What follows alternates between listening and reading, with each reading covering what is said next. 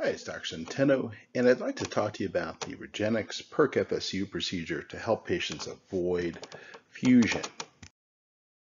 So what is the PERC FSU procedure?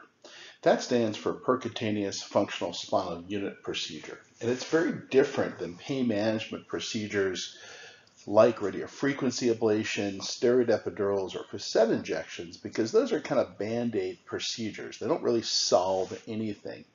But the goal of this procedure is to change the biomechanics of the spine and to stabilize it without the need for a big fusion surgery.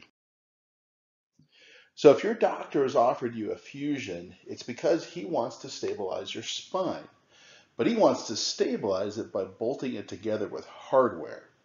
What if stabilization could be achieved without the nuts, bolts, screws, and rods? So here we're talking about the lumbar spine, but this also applies to the neck or cervical spine. So as you can see here, you've got a disc here in between the vertebra, and you've got a facet joint back there, and there's a nerve that comes out over here, and we've got big ligaments that live back here that stabilize everything. And then we've got muscles that live back here as well that stabilize things, and that those are called the multifidus. Now, as we age or get traumatic injuries, the spinal bones can begin to move too much, and that's called spinal instability. And that's why you've been offered a fusion. And interestingly enough, there are a ton of ligaments that are just ignored in the spine uh, these ligaments help to stabilize the spine. So would, they would be a great target if we could tighten ligaments. Now, spinal stability can cause disc bulges, facet joint arthritis, and swelling in the spinal nerves and all sorts of pain and problem. But again, what if we could tighten those ligaments without the need for invasive surgery?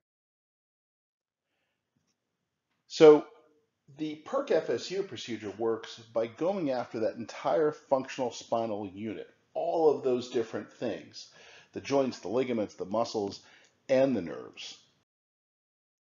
And it's really four different procedures in one. We're going to be treating the ligaments, we're going to be treating the joints, we're going to be treating the nerves, and we're going to be treating the muscles.